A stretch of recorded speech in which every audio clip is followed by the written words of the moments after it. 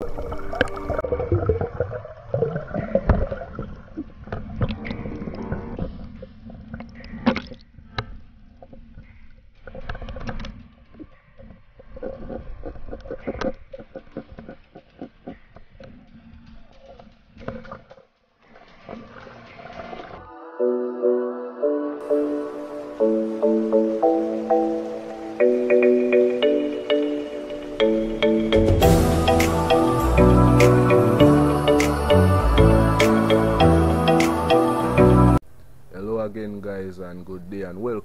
Sea Life Jamaica guys. Welcome back to your channel. Welcome back to the family with another cook up, you know. Yeah man, what I'm gonna do in idea guys, I'm gonna prepare one big jack that me catch in a previous video. I also have um pink crab as well guys. What I'm going to do, I'm going to put him with the jack and do and quick and fast cook up in idea, you see me? Yeah man, you don't know say just like what Colors TV say you know guys from the food nice you have to do it again yeah man so just stay tuned and watch what are going guys. And if you're new here please remember to like share comment and subscribe. It really do help the channel a lot you see me? Yeah man so what i'm gonna do now guys i'm going to get the fire ready and clean up the fish them cut them up and season them up. Just stay tuned guys i'm getting us some action you see me? Yeah man